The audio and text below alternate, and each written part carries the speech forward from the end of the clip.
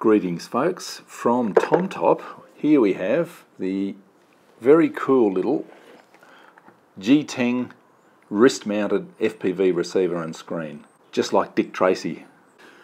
So specifications 2 inch LCD screen, 960 by 240 uh, pixels, contrast 500 to 1, uh, antenna included, 5.8 gigahertz, uh, 32 channels, charges via USB, has a built-in 300 milliamp hour battery and continued working more than one hour. Charging time about 50 minutes. And there it is, it's just the little FPV screen, wrist mounted FPV screen, which might be just the coolest little gadget I've ever seen. And we also get a USB charger and a little bit of an instruction manual. I've already charged it up.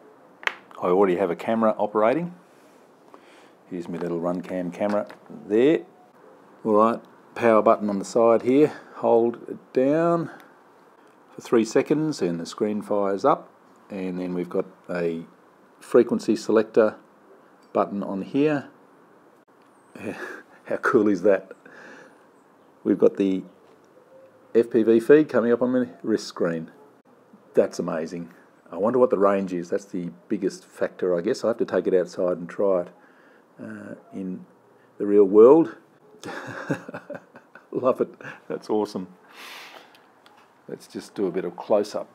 So, as we can see on the screen, has all the uh, all the uh, on-screen stuff that's sent by the camera. We have little indicator lights here, ABC, ABEF bands, and 1, 2, 3, 4, 5, 6, 7, 8 on the channels and we push the side button to skip through the eight channels. See the little light moving there. And we push and hold for a little while uh, and that skips through the bands. One two three so hold for three seconds and you skip through the bands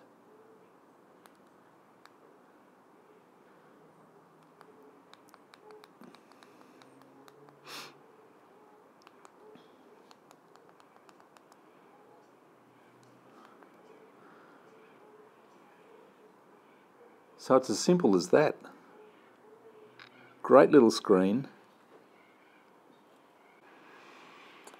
So the antenna is on this side here. That's going to be the limiting factor for, for um, range, I guess. 32 channels, doesn't say anything about range. Okay, I guess we'll have to test it.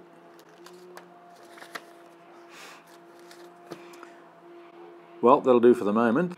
Thanks very much to TomTop for sending this very cool little G-Teng wrist-mounted FPV receiver and screen. A very cool little gadget. Thanks for watching.